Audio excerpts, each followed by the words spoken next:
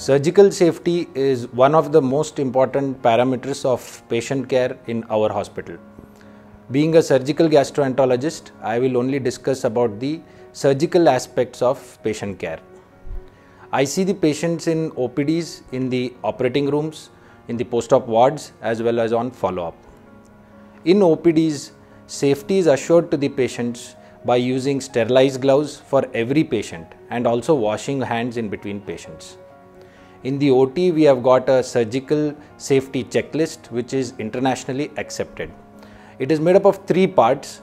The first part is before the induction of anesthesia, the second part is after the induction of anesthesia but before surgery, and the third part is after surgery but before the patient is wheeled out of the operation theatre. So, before the induction of anesthesia, all the team members that is the surgical team, the anesthesia team and the nursing staff introduce themselves the patient identity is confirmed, the procedure and the site of uh, surgery if applicable is confirmed and then the surgeon announces the expected duration of surgery and the expected amount of blood loss. The anesthetist also announces if there is any expected difficult airway or difficult intubation. Any allergies of the patients are also taken note of. The vitals of the patients are checked and finally the patient is induced. So after induction of the anesthesia and before the skin incision, once again the procedure is confirmed, the site marking is confirmed. The surgeon announces the critical steps of surgery. The anesthetist also announces the critical steps of anesthesia. Once the surgery is finished, but before the patient is shifted out of the operating theatre, the nursing staff does the counts.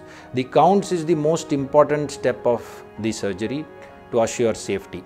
So the nursing staff counts all the gauze pieces, the mops, the instruments, the needles that are used for the surgery and then declares that the counts are correct.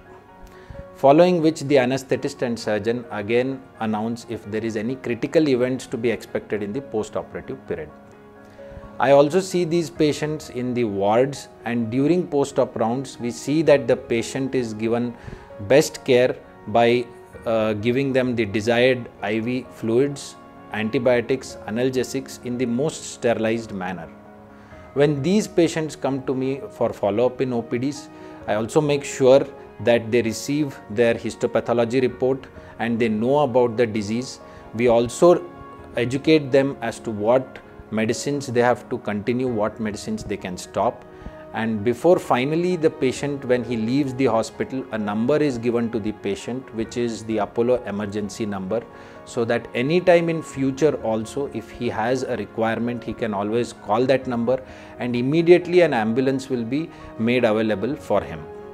So in this way we are able to guarantee safety to the patient right from the time he enters the hospital to the time he leaves the hospital and also even after.